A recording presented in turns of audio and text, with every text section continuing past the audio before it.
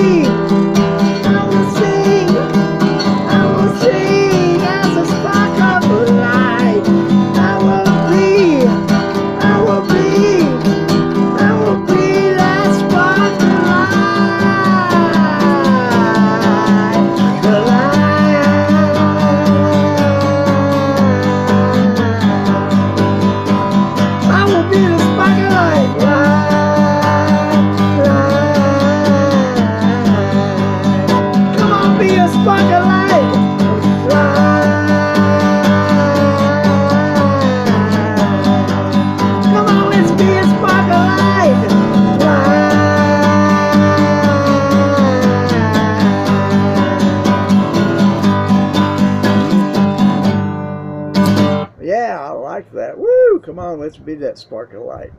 Hey, you know, is it dark in your life? You know, is, uh, does it look like that your your fire's gone out in your candle?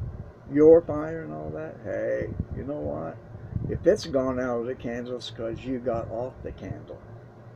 Because you're that spark that makes the light on the candle all through. Now I'm talking to you that's in Christ, the Spirit, the spiritual you. Yeah. So just seeing that spark alive into a fire, into a light, you know, and light up that darkness in your room. And open your windows and doors and let that light shine out in your yard, in your world, amongst your friends and your enemies. I love you all. That's the end of my little soapbox. Hope you like this song. I didn't even know I was going to record this. I never know, do I? No.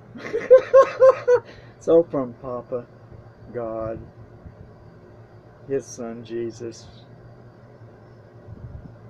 His other Son to be when Jesus shows back up with Papa, and you, we're all the body of that head, and we're all filled with that Spirit of the Son, Father, and us all in one. I love you.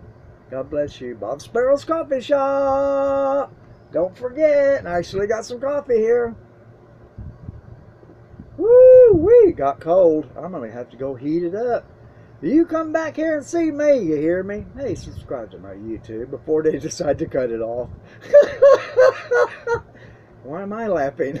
Oh well. Love y'all. Peace. When Jesus comes, peace.